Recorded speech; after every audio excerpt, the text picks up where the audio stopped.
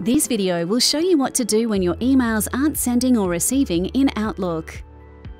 We'll show you how to check your username and password, how to adjust your junk mail filter, and how to check that your incoming and outgoing service settings are configured correctly.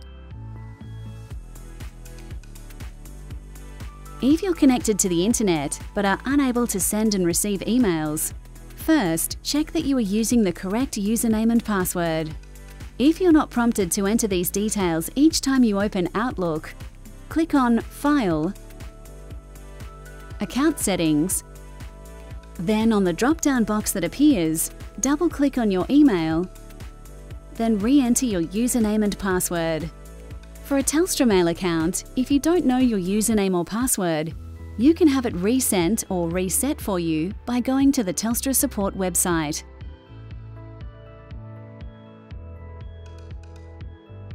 Some spam filters can wrongly block legitimate emails if they are set too high. To adjust your spam filters, click on Junk on the Home tab of the Outlook ribbon. Then, from the drop-down menu, select Junk Options and select the appropriate level of filtering. If you are still unable to send and receive emails, Check to make sure that the correct outgoing server and port is defined. Go to File, Account Settings. Underneath Type, it will say POP or IMAP SMTP. Double-click on your email, click on More Settings,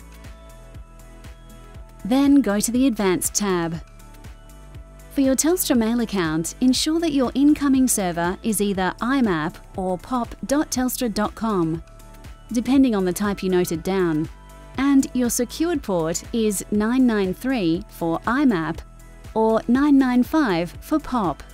Your outgoing server is smtp.telstra.com and the port is 587 or 465 with TLS selected. When you're ready, click Next to test account settings and close the window. If you are still unable to send or receive emails, you can also try uninstalling and reinstalling Outlook. For support when you need it, visit telstra.com/platinum.